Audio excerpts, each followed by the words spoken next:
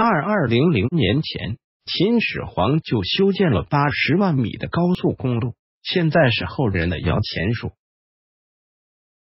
我们今天所讲的主人公，就是二二零零年前，秦始皇下令让大将蒙恬率领十万民工修建的秦直道。秦直道又俗称为皇上路、圣人条，南起咸阳的军事重地云阳灵光宫，今陕西咸阳北部，北至秦朝九原郡，今内蒙古包头市西南孟家湾村。全长八十多万米，途经十四个县，路面宽度一般为二十米，最宽处为六十多米，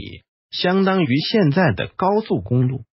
而根据相关史书记载，秦直道始建于秦始皇三十五年（公元前二百一十二年），完工于秦二世胡亥时期。它是在战国时期各国原来道路的基础上。加以整修连接而成。秦直道建成之后，除了具有方便军队作战行进、运送军需物资的军事作用，还成为了促进秦朝政令下达实施、各地经济发展和文化交流的重要媒介。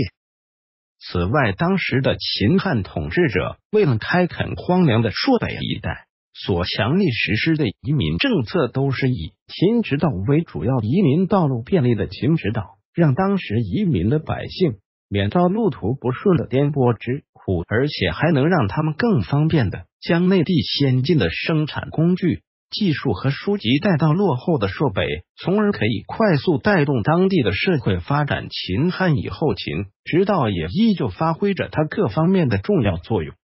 唐太宗时期突厥王朝经常进犯中原。而正因为有了畅通的秦直道唐朝统治，这才能快速的和驻守北方边塞的军队取得联系，从而打退进犯的敌军。明清时期一直到建国以后，秦直道仍是各地往来商人、运送货物的的便利通道，因此距今千年的秦直道遗迹才能够保存至今。而根据相关媒体报道。前几年，内蒙古鄂尔多斯市开发了以秦直道为主体的旅游文化项目，